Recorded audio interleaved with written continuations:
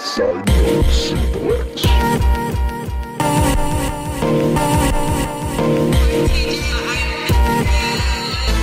The difference between you and me is I've been dead and I'm not afraid of it. Kidding me? I'm Ric Goddamn Flair. Woo!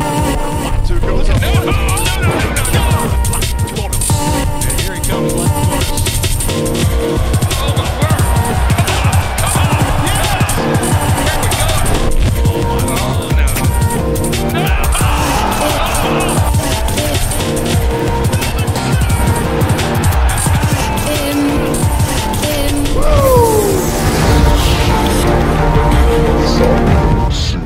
The highest of highs and the lowest of lows, you've done it all, Ric. But we can't talk about Ric Flair without talking about tragedy. Now, a few years back, Ric, you nearly passed on. The figure four to the fucking Miz. That is the biggest miscarriage of justice this business has ever seen. And I went to WrestleMania and lost to fucking Snooki.